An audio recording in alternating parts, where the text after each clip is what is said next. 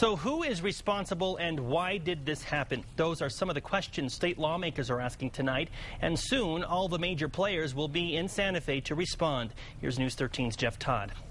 Tim, you see these kind of hearings in Washington all the time, but rarely do you see them at the Roundhouse. It's the worst natural gas shortage in decades as workers continued going door to door in 14 communities to restore service. Lawmakers are ready to ask questions. How did this happen? Why did it happen? If we don't have adequate gas reserves or a pipeline issue, I want to know what we can do in the future to make sure it doesn't happen again. First thing Monday morning, representatives from New Mexico Gas and the Public Regulation Commission will be in front of the House Energy and Natural Resources Committee answering tough questions on how the problem developed. This was a monumental storm that hit us. I mean, the, the worst weather in 40 years that hit New Mexico.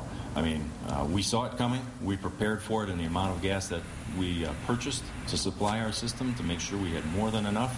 The gas company says the issue originated with its supplier, who lost electric power at compression stations in Texas, making it hard to get enough gas into New Mexico and parts of Arizona. There will be an, an effort to recap on all, all the events that happened, and we will analyze uh, how that happened with our suppliers and what went wrong and all the causes and effects.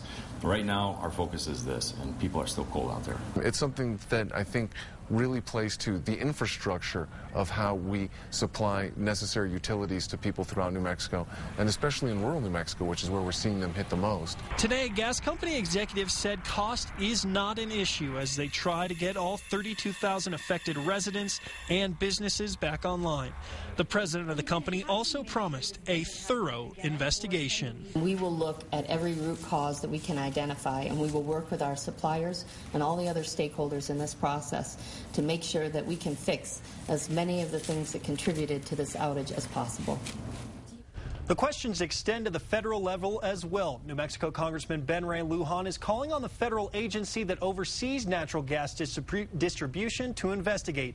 In a letter to that agency, Lujan asked the Federal Energy Regulatory Commission to exercise its regulatory authority to address this crisis by conducting a thorough review of the incidents that occurred and by identifying any casual factors leading to these incidents. Tim, back to you. Thank you, Jeff.